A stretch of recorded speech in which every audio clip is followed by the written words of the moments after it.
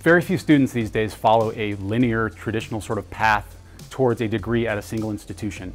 To solve this problem, we're introducing FlexChain EDU. What the internet did to democratize information, the blockchain is basically doing that for value and trust.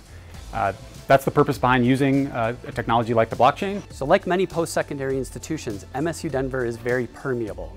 We have students starting as early as high school in concurrent enrollment classes, first-time freshmen, a large population of transfer students, and then all the way up to graduate students. So the intent of FlexChain EDU is for students to be able to own their past learning experiences and for them to be able to take those to employers to show what they've accomplished and what they've learned regardless of if they've actually completed a certificate or a degree or a graduate program. So FlexChain EDU becomes a student-owned passport. It allows them mobility across borders, across institutions. They're no longer tethered to an, a single institution. So in the past, as students have transitioned from one institution or another, um, there's been a review of the credits they've completed and the skills they've gained.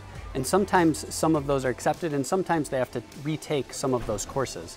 With this new proposal, we're actually going to build into the blockchain technology representation of all of that past coursework and all of the skills they've gained. We really want to give autonomy back to the students in what they're learning and the ways that their skills that they develop through their education ultimately becomes valuable in the workplace, regardless of, of completing a four-year degree all of those things will live within the blockchain and be able to be shared to employers so they can see the full breadth of background that that student has. MSU Denver is thinking critically, creatively, and flexibly about how to ensure that our students are um, entering the workforce with the credentials that they need when they need them and with some degree of knowledge about how all of their various credentials fit together to paint a picture of this amazing student standing in front of a hiring manager.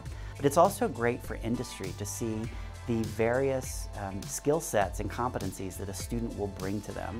I am so excited about the technology behind blockchain and what it can do to really ensure that we have a flexible, adaptable system for our students from beginning to end.